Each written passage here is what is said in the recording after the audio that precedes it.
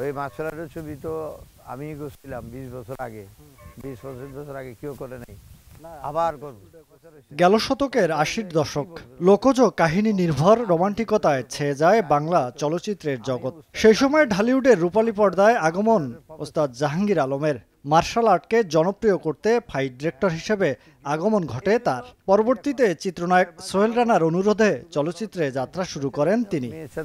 ভালোবাসা হয়ে যায়। ডিজিটাল তো বাংলাদেশে মার্শাল আর্টের প্রতিষ্ঠাতা গ্র্যান্ডমাস্টার হিসেবে চলচ্চিত্রে পা রাখা এই অভিনেতা মাস্টার সামুরাই ছবির মাধ্যমে ব্যাপক জনপ্রিয়তা পান। সোহেলানা রুবেল নিশা সদাগর আরও খালেদ মাহমুদ অনেক সাকিত আমি অসংখ্য প্রশিক্ষণ দেওয়ার পরে চলচ্চিত্রে মারামারি অ্যাকশনটাই তো চেঞ্জ হয়ে গেল।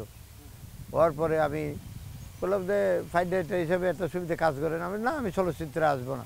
মাস পরপর আমার অনেক বুঝাইলো। বুঝার পরে কেমনে কেমনে আমি ইনভলভ হয়ে গেলাম ফাইট ডাইরেক্টর হলাম সাকসেসফুল প্রায় দুশোর উপরে ছবির ফাইট ডাইরেক্টর আমি তারপরে প্রযোজক হইলাম, পরিচালক হইলাম, নিজে অভিনয় করলাম। নায়ক হিসেবে তিরিশ, চল্লিশটা ছবি আমার প্রোডাকশন দিয়ে করছি, বাইরে প্রায় দুইশোর উপরে। তো এই- এই আশা ইন্টারেস্ট এই চলচ্চিত্রে আসা আসলে আমার ইচ্ছা ছিল না কোনদিন চলচ্চিত্রে আসব।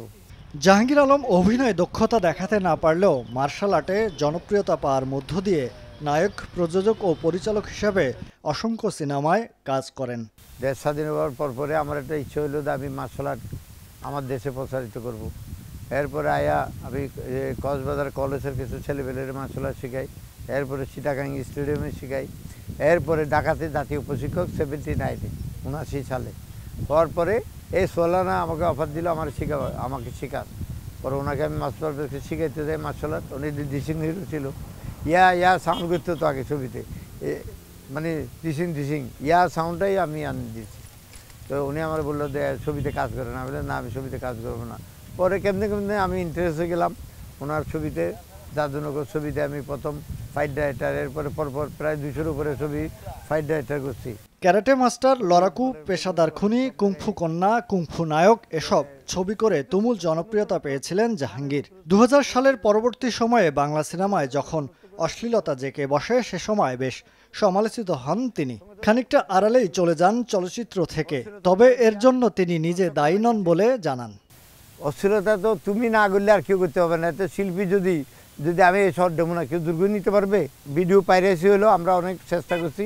ওই ভিডিও পাইরেসির মতন একটা পাইরেসি যখন যারা ছবি বানাইতো, এখানে সবাই জড়িত। যারা বুকিং এজেন্ট আছে, যারা ছবি নিয়ে যেত, তারা কি করতো? কাটপিস আলাদা বানিয়ে ছবিতে লাগাই দিত। এমনও সময় গেছে মানুষ দেখে হঠাৎ কোনো কথা নেই, ছবি মাঝখানে চলতেছে।